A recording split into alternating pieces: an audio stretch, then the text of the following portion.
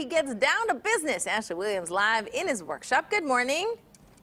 Yes, hi guys, good morning. And tucked away in the heart of Murphys, 1,100, 1,100 square feet of just, or acres rather, 1,100 acres of just pure beauty and magic. And in all of that, daffodil heaven. Now, we talked to you guys just a bit earlier. We pulled off on the side of the road to show you uh, the daffodils that are lining this estate. Well, this is, as you just mentioned, Cody, the workspace for their master gardener. And I'm so excited to chat with him about, about what we are seeing and what we are looking at because obviously there are stages when a flower is growing. There's the early, medium, and then of course the late stage. Well, we're going to get to learn about all of that. Now, Larry, thanks for being back with us right now. Thanks for coming to my growing e- Yeah. area. So this is where you spend most of your time, you guys. He tra- he commutes, by the way, from Lodi six days a week Oh. to bring this beauty to this area for all of you all to enjoy. Okay, so what are we looking at? Because I'm seeing just a lot of wood.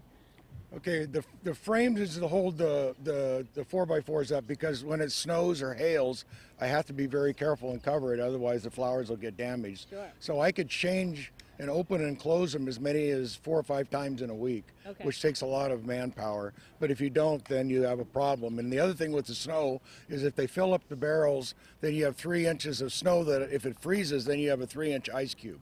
And then you have problems with the daffodils that- that's burning. an issue. So I- you have to babysit them all the Yeah, time. and, I, and I'm sure that has not been an issue at least this Not year. this year, no. Last year was terrible. All right, let's go and show some aerial footage. This is drone footage that our photographer Terry Haggart uh, filmed just yesterday. It's beautiful. It kind of gives you a different vantage point and a kind of a different perspective of what we were standing in between. Um, when you saw that drone footage, what did you think? Oh, it's, it makes all the difference in the world looking from above down. Um, right now, we're standing in amongst about 400 more barrels of bulbs that are ready to bloom. Okay. So we'll have about a month of solid blooming of different types of flowers. Okay, now speaking of blooming, I did tell Larry I want to get my hands dirty. So he um, he basically said, "All right, Ashley, I'm going to challenge you to move this barrel. How many Oh, barrels man. a day do you move?"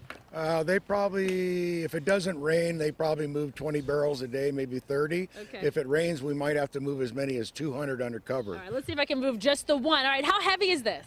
About 100 and some pounds. All right, come on over with me. By the way, this is what we would consider maybe an earlier stage of a bloom or This medium the, stage. this is the medium stage. okay, yeah. good. Take that microphone. All right, what do you want me to do, Larry? just rear back on it, push it in a little farther. Yeah, there you go. There you go. Ugh. That? And then what we have to do is we have to roll them up on that trailer. But I, you better not try that. Nope, I'm Okay. I have new shoes on, Larry. Don't get them dirty. In or back? Back up and then roll it straight in. Okay, here we go. All right, I'm doing. Oh, there you go. There you go. Give it a run. Oh, oh, oh use your quads. Use your quads. Come on. Dig it, dig it, dig it. Oh. okay, wait. Reverse, reverse. You need a running head start. Yeah. I think You'd have to get a run. I think the daffodils look great right there. Just leave them there. That's hard. I'm gonna let you. Just like that. Larry's right? Okay, like, so they have a big this up." event Yeah. going Look on. at- look out. See, you there can we see- go. there There we we go. go. Gotta get a running start and put you back into it. Okay. Larry, thank you. We're going to hang out a little bit longer, so we're going to take you to a different area where you're going to see a lot of these in full bloom. I'm tired. You're tired. See, this is why we your need Larry. I'm telling you, you have a whole new appreciation.